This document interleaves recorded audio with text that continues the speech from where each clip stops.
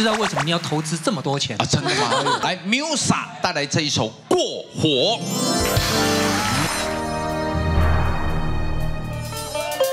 哎呦哇靠，中软，哎呦。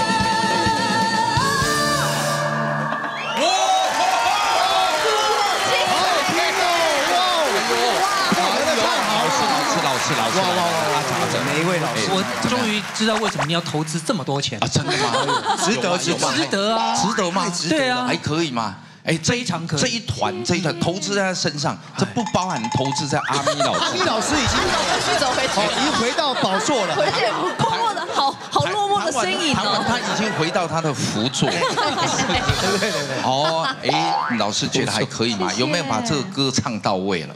有啊，尤其是我觉得这个整个编曲，尤其到最后的时候哦，这让 Musa 发挥他的高音高对。高音，高音。然后哦。而且有那个摇滚的这个感觉在里面。其实我还蛮颠覆我原来这个是是是。的的原来的编曲，因为我一直觉得一直觉得这首歌就是这个型，哦，他没有办法哦已经做既定的太多的改对，态大家对他的印象就是对对。对。